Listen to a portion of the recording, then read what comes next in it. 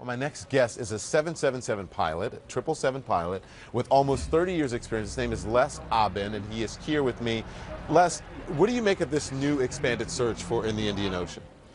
Well, it, it says that there's limited information um, from the uh, from any data sources. Um, no communication directly from the crew. It indicates to me that there was something that uh, catastrophic that occurred.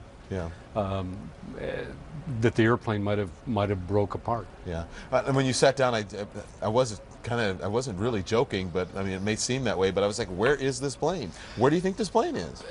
It's it's a tough one. You know what you're dealing with is um, uh, a situation.